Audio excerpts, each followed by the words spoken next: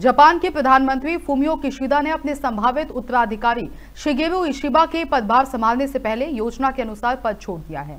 Japan की संसद ने नवनिर्वाचित गवर्निंग पार्टी के नेता शिगेबो इशिबा को देश के प्रधानमंत्री के रूप में चुना। शिगेबो इशिबा ने जापान के एलडीपी नेतृत्व चुनाव में जीत हासिल की थी। किशिदा के तीन साल के नेतृत्व कार्यकाल ने योशी हिदे सुगा का स्थान लिया था, जो एक साल तक सत्ता में रहे थे। लेकिन कोविड 19 प्रकोप से निपटने में उनकी अलोकप्रियता के कारण पद छोड़ना पड़ा था।